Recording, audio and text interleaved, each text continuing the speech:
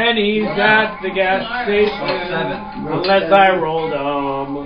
So I sat on the floor and I rolled pennies until 4 p.m. That's a lot of rolling pennies.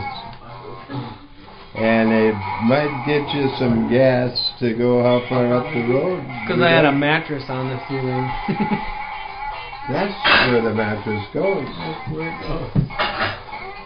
That's where the wild goose goes. That's where Ginny gets stuck in her toes. That's how Jeezy taught picking your nose.